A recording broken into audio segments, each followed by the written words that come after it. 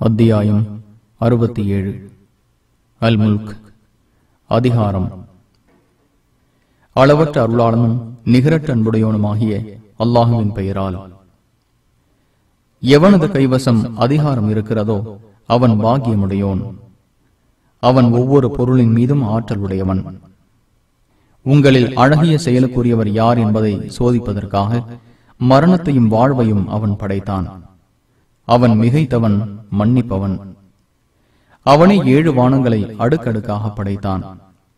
அளவற்ற அருளாளனின் படைப்பில் எந்த முரண்பாடுகளையும் நீர் காண மாட்டீர் மீண்டும் பார்ப்பீராக ஏதேனும் குறையை காண்கிறீரா? இரு தடவை பார்வையை செலுத்து களைப்புற்று இழிந்ததாக பார்வை உண்மை திரும்ப அடையும். முதல் வானத்தை விளக்குகளால் அலங்கரித்தோம்.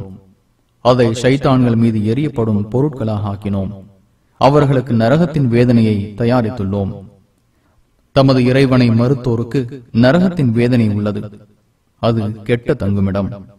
அதில் அவர்கள் போடப்படும் போது அது கொதித்துக் கொண்டிருக்கும் நிலையில் அதனிடமிருந்து கடும் இறைச்சலை செவியுறுவார்கள்.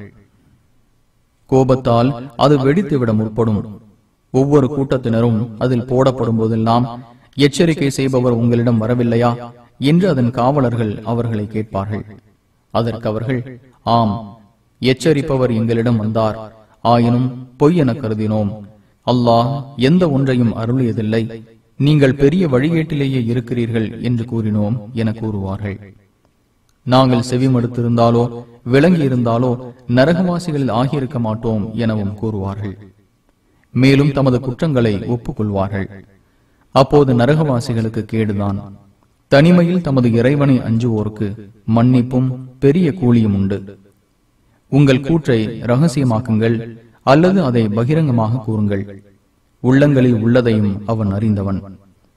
படைத்தவன் அறிய மாட்டானா? அவன் நுட்பமானவன் நன்கறிந்தவன். அவனே பூமியை பயன்படுத்த எளிதானதாக உங்களுக்கு அமைத்தான்.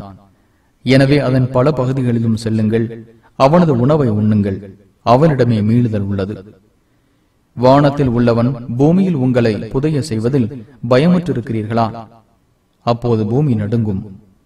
அல்லது வானத்தில் உள்ளவன் உங்கள் மீது கல் மழையை இறக்குவதில் அச்சமற்றிருக்கிறீர்களா? எனது எச்சரிக்கை எத்தகையது என்பதை அப்போது அறிந்து கொள்வீர்கள். அவர்களுக்கு முன் சென்றோரும் பொய் என கருதினர். அப்போது எனது பதிலடி எவ்வாறு இருந்தது? அவர்களுக்கு மேலே பறவைகள் சிறகுகளை விரித்தும் மடக்கியும் இருப்பதை அவர்கள் காணவில்லையா? அளவற்ற அருளாளனை தவிர வேறு எதுவும் அவற்றை கீழே விழாது தடுத்துக் கொண்டிருக்கவில்லை. அவன் ஒவ்வொரு பொருளையும் பார்ப்பவன். அளவற்ற அருளாளனை அன்றி உங்களுக்கு உதவி செய்யும் உங்களுக்குரிய படையினர் உள்ளனரா? அவனை மறுப்போர் ஏமாற்றத்திலேயே உள்ளனர். அவன் தனது உணவை நிறுத்திவிட்டால் உங்களுக்கு உணவளிப்பவன் உண்டா? மாறாக வரம்பு மீறுவதிலும் வெறுப்பிலுமே அவர்கள் மூழ்கிவிட்டனர். முகம் குப்புற விழுந்து கிடப்பவன் நேர் வழி பெற்றவனா அல்லது நேரான பாதையில் சீராக நடந்து செல்பவனா? அவனே உங்களை படைத்தான் உங்களுக்கு செவியையும் பார்வைகளையும் உள்ளங்களையும் ஏற்படுத்தினான். குறைவாகவே நன்றி செலுத்துகிறீர்கள் என்று கூறுவீராக. அவனே பூமியில் உங்களை பரவ செய்தான் அவனிடமே ஒன்று திரட்டப்படுவீர்கள் என்றும் கூறுவீராக. நீங்கள் உண்மையாளர்களாக இருந்தால் அந்த எச்சரிக்கை எப்போது என கேட்கின்றனர்? அந்த அறிவு அல்லாஹுவிடமே உள்ளது. நான் தெளிவாக எச்சரிப்பவன் மட்டுமே என முகம்மதை கூறுவீராக. அதை அருகில் அவர்கள் பார்க்கும்போது ஏக இறைவனை மருத்துவரின் முகங்கள் கெட்டுவிடும். நீங்கள் தேடிக் கொண்டிருந்தது இதுவே என கூறப்படும். என்னையும் என்னுடன் உள்ளவர்களையும் அல்லாஹ் அழித்தால் அல்லது எங்களுக்கு அருள் புரிந்தால் துன்புறுத்தும் வேதனையிலிருந்து ஏக இறைவனை மறுப்போரை காப்பவன் யார் என்பதற்கு பதில் சொல்லுங்கள் என்றும் கூறுவீராக. அவனை அளவற்ற அருளாளன். அவனை நம்பினோம். அவனையே சார்ந்திருக்கிறோம்.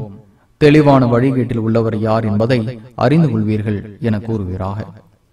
உங்கள் தண்ணீர் வற்றிவிட்டால் ஊறி வரும் நீரை உங்களுக்கு கொண்டு வருபவன் யார் என்பதற்கு பதில் சொல்லுங்கள் என கேட்பீராக.